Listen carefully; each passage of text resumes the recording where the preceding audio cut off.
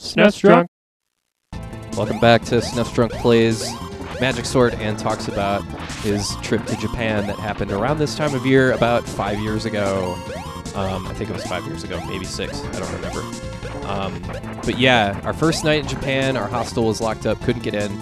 So we decided to get a capsule hotel and experience that pleasure. Uh, that was uh, like sleeping in an open-ended casket. Um, it was really strange. Um, uh, I remember uh, waking up, or, or no, I, I was talking about the front desk. Yeah, um, this, we finally we wait in line and we finally get to the front desk, um, and the guy is asking my friend questions, um, and he's speaking in a very very hushed tone. He's he's like eyeballing us, like he doesn't trust us, like we're, we're scheming or something. Um, and he's asking us like, "Why are you here? What what like how long are you gonna stay? What, what are you doing here?" And uh, and he's he has he has me repeat the questions to me. Um, the front desk guy asked me to ask uh, ask my friend to ask me the same questions he's asking him. Where is the door? Where do I leave? There it is. Um, the uh, the funniest question he asked was, um, "Do you have any tattoos?" And my friend, he asked my friend that, and then my friend, uh, he, he needs to know if you have any tattoos, and I say no. Um, and then uh, he follows that up with, "Do you think it's okay with people that that people with tattoos are not allowed to stay here?" And my friend relays back, "He needs to know if you think it's okay that people with that have tattoos aren't allowed to stay here." It- I was so exhausted. I hadn't slept in like four days. I thought I was like hallucinating. Like, what? I don't fucking care. And my friend later tells me it's because of uh, the Yakuza. It's a mafia gangster kind of a thing. You're not allowed to have tattoos. Um, wow, what the fuck? Are you serious with this part? There's arrows coming from everywhere? Jesus. So, and not only um, do you have to sleep in a tube at these capsule hotels, but this place gives you pajamas uh, to, to wear. Uh, they're basically shorts and a shirt. Kind of kind of like a half of a, a bath. I don't remember honestly. I was I was so exhausted. My brain was so fried. Um, I just wanted to lay down.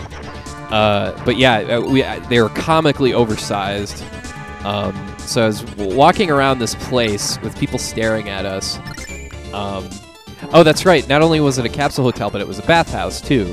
So um, there's like naked Japanese men like wandering around too, as if this isn't weird enough. Uh, so yeah, and I remember waking up in my tube, not wondering where. Why isn't this guy dying? Jeez. All right, let's grab. Nah, fuck that guy. Um, let's uh, the, uh, um, when I woke up on the tube, my friend didn't sleep. He was hanging out in the smoke room, uh, watching a Japanese dubbed version of Breakfast at Tiffany's. it's just so freaking strange. Um, yeah. Anyway, if you ever have a chance to go to Japan, highly recommend. If only for the feeling of just that that like I'm on another planet right now. I don't know uh, where I. It's just so disorienting. It's so strange. It's uh, it was a lot of fun. Um, ah, that was really dumb. I think you're supposed to jump through the chain. Um, God, this part is hard. Um. Oh yeah, I was gonna die anyway. Who cares? Wow, did that blow up the that thing too? That was pretty cool. God, the jump mechanics in this game just aren't the best. Not gonna lie. Now I gotta retrieve my sword. Fuck this. You can't even if you do that, you can't fucking get past it. Man, this game has some. There's certain flaws with this game. um, what level am I on? Oh, I'm already to the twentieth floor. Anyway, yeah, I slept a lot in Japan, and um, I don't regret it.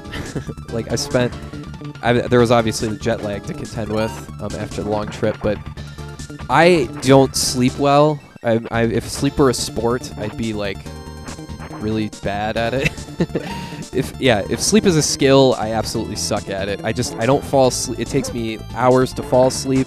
I only stay asleep for like four or five hours at most. That's a good night's sleep. Um, but I absolutely need that four or five hours. If I don't get it, I am a, just a worthless corpse, and I am miserable. I, I I'm irritable. I'm just a cranky old bastard if I don't get my four or five hours of sleep. Um, come on, die, die. Jesus, thank you. um, yeah, I suck at sleep, but for whatever reason, I was able to sleep amazingly well in Japan. If I don't know if it was just the elevation, the the the moisture in the air, or what. I got really lucky. In my my hostel room was um, I got a lower bunk, and it was really um, it was so nice. Like it's just I laid down and I fell asleep like like I'm gonna take a nap. I'm tired from you know, have, you have to walk everywhere in Japan if you're not taking the train. Like I'm just gonna take an hour nap. I was asleep for like six hours. I woke up. It was like ten at night. I was like, and I felt a bit like, wow, this is the best I've felt physically and I don't know how long. So it's like, fuck it, I'll take it. Like I never get to sleep this well. I might as well sleep. So I did sleep a lot in Japan. That was fun. But no, I my friend and I did a lot of, a lot of exploring. Um, I took a day to explore by myself and experience fully experience the weirdness. I remember I think it was a Friday morning when I went. Uh, God, this game, the slowdown here. This game is not in slow motion. Oh, come on, that's cheap. Um, yeah. Notice how I speed up and then slow down once the rotating things come on the screen again. That's this game is not the greatest. Um, I wanted to experience rush hour Japan on the trains for myself. So one Friday morning, I went um, at the crack of dawn. I went down to the train station in Takadanobaba, and we, or it was just me. I experienced the mosh pit that was uh, the train on a, a work day, on a weekday rather. it was amazing. Um, it wasn't to the level of like the the train security. Um, see, that's why that should be a simple jump to make, but because the jumping in this game is like uh, fucking Super Ghouls and Ghosts, where it's like you're locked into a to a certain length. You you can't really control your jump that well. See, it, you can't. you're either gonna jump over it or you, it's it's fucking it's not good. You gotta like here, there we go. You gotta like measure your jump, measure a simple fucking jump before you do it. It's, I hate it. Um, uh, yeah, Rush Hour Japan, everybody wearing a suit, which made me laugh. Um, and there was, I remember, everybody is packed together so closely. Um, one guy was playing his uh, Nintendo DS um, using the shoulder of the guy in front of him as like a to, to to hold it up. I thought that was funny. I forget what he was playing. I think he was playing uh, Cooking Mama. It's just like cooking, but in Japanese, of course. But uh, that made me laugh. Uh, but yeah, it is no exaggeration. It is uh, rush hour is crazy there. It is you're packed in. It's like being at a Slayer concert. People jostling around. Pretty fun actually. Um, let's see if I can fucking do this. There we go. A simple fucking pit navigated.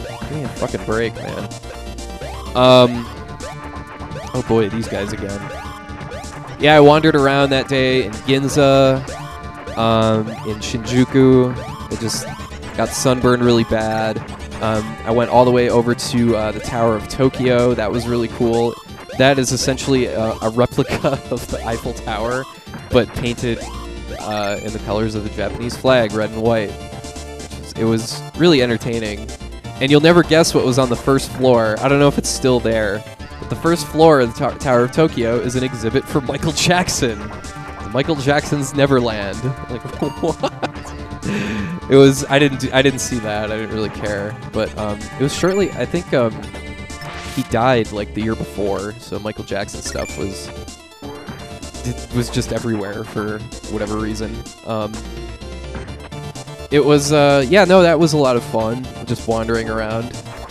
Um, but that's the thing about Japan is that not only it's it's it's not for English speaker uh, only English only speakers. If you don't speak the language, um, you'll have no idea where to find stuff. There's no, I mean, not that there's any signs to point you in any direction anyway, but it's it's just really everything kind of looks the same, and there's especially in Tokyo, everything is very um, uh, everything is very um, tall, so you can't see down the road where you're going. Um, do I want the ninja? Nah. Can I jump over the ninja? Yes, I can. And I got whatever that thing was. I think I'm coming cl- close to a game over. Anyway, I come close to the end of the episode, so uh, I'll keep rambling about stuff next time. Thanks for watching, and have a great rest of your day. Uh, let's see what he has to say here real quick. What is this strength atmosphere?